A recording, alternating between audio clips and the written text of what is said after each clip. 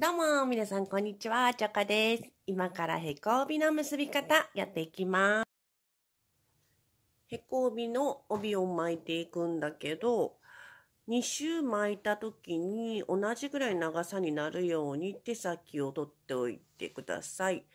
だいたい膝の下あたりぐらいかな。帯の長さによるけど、それぐらい取って巻いていってください。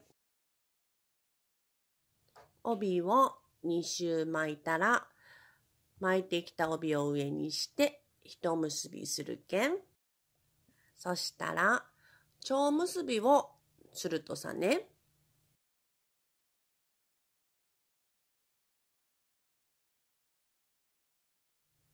あとは、帯の結び目を隠すように、下から上に通していくけん。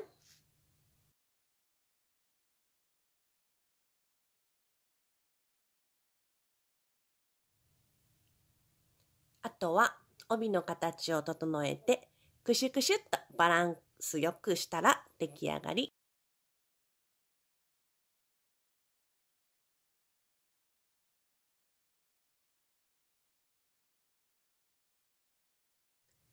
ここからはアレンジだよ。帯の結び目を隠さずに上に広げてお花のようにしていくけん。結び目は飾りをつけても可愛いよ。